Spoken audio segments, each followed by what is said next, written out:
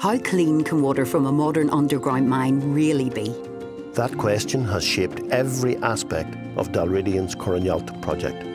All water on site, rainfall, runoff, and groundwater entering the mine workings will be captured and either recycled or treated before being released into a local stream.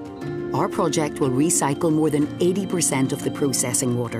The rest will pass through advanced ultrafiltration and reverse osmosis systems, the same technology used worldwide to turn seawater into drinking water.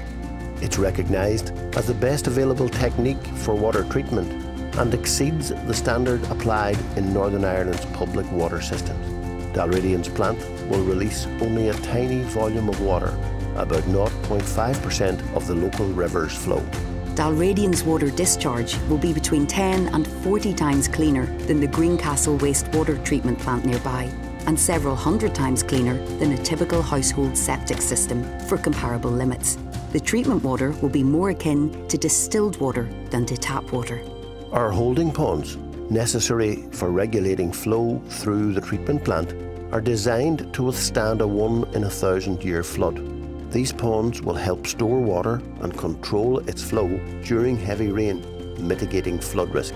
Dalradian's approach to water is part of a broader commitment to sustainability and environmental stewardship, which has seen our operations achieve Carbon Neutral Plus certification for six years running. That means we're on track to build Europe's first carbon neutral mine, one that takes its impact on the local landscape and water seriously. Dalradian responsible by design.